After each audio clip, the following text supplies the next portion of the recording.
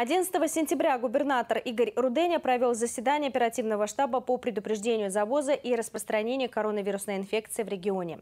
Главными стали вопросы профилактики COVID-19 в образовательных организациях региона. Глава Верхневолжья подчеркнул, Должен быть проработан четкий алгоритм действий в случае выявления в учебных заведениях случаев коронавируса либо заболевания с похожими симптомами.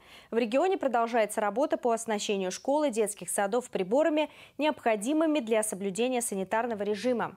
Поставлено более 5000 бесконтактных термометров.